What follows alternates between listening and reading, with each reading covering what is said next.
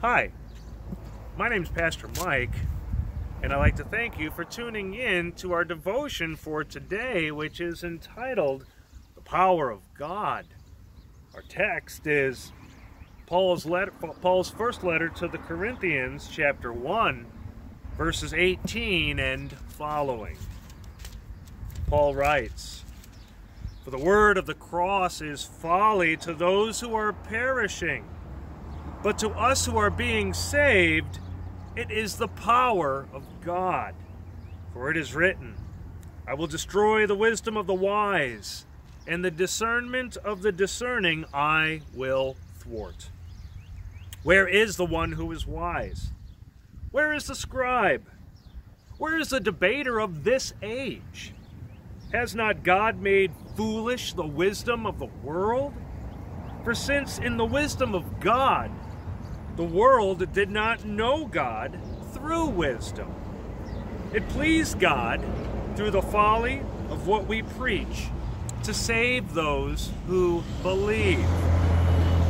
For Jews demanded signs, and Greeks seek wisdom. But we preach Christ crucified, a stumbling block, block to the Jews and folly to the Gentiles. But to those who are called, both Jews and Greeks, Christ, the power of God and the wisdom of God. For the foolishness of God is wiser than men, and the weakness of God is stronger than men. For consider your calling, brothers. Not many of you were wise according to worldly standards. Not many were powerful.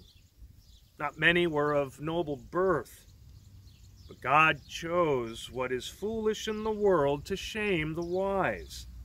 God chose what is weak in the world to shame the strong. God chose what is low and despised in the world, even things that are not, to bring to nothing the things that are, so that no human being might boast in the presence of God. And because of him, you are in Christ Jesus, who became to us wisdom from God, righteousness and sanctification and redemption, so that, as it is written, let the one who boasts boast in the Lord.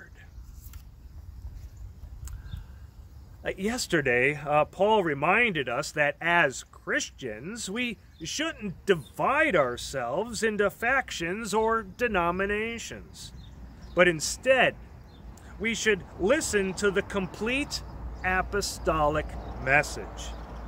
There is only one gospel, and it is about Christ. It is about the cross and redemption through faith in the crucified Lord.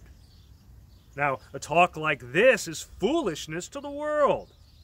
For the moralists, it's downright offensive because they think it's obvious that you can deserve to come to God through good works. For the rationalists, it's ridiculous that God would become man in the first place, that he would die, and that Jesus would make atonement for our sin. You see, nothing coincides with their preconceived notions of God. The fact that God could differ from our idea of Him has never been made clear to them. However, it's obvious that the talk about the cross is truly God's power of salvation for those who receive it in faith. Because it's something that affects all of us. It's something that shows its reality by literally changing our lives. We can't see God. However, we can encounter Him in such a way that there is no doubt who we're dealing with. That happens through the gospel. Paul realized that the works of God are more easily received and understood by simple common people.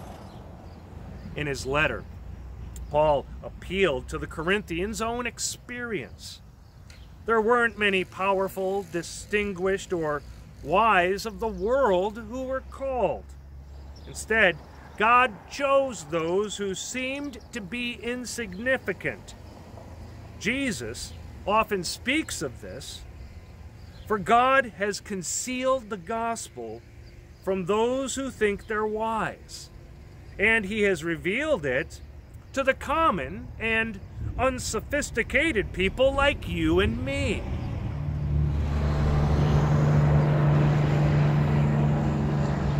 Because we're the ones who hear God when He speaks to us in our heart. Let us pray. Lord God, thank you for choosing us to be your simple messengers in a complicated and sinful world. Through the power of your Holy Spirit, help us to trust and believe in the gospel and share its power of salvation with others. In Jesus' name we pray. Amen. God's blessings. We'll see you next time.